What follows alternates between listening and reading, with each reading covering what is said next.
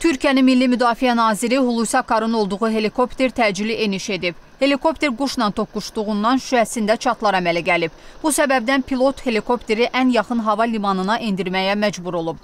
Milli Müdafiə Naziri Suriyanın şimalında qoşunların olduğu sərhəd xəttindəki yoxlamalardan sonra Qaziantep əyalətindən helikopterlə ayrılıb. Hadisə uçuşdan qısa müddət sonra baş verib. Belə olan halda helikopter Adanadakı 10-cu tanker bazasının ərazisinə indirilib. Bildirilib ki, eniş zamanı təhlükəli vəziyyət yaranmayıb. Qeyd edək ki, helikopterdə Hulusi Akarla yanaşı baş qərargah rəisi general Yaşar Gülər və quru qüvvələri komandiri Ümid Dündar da olub.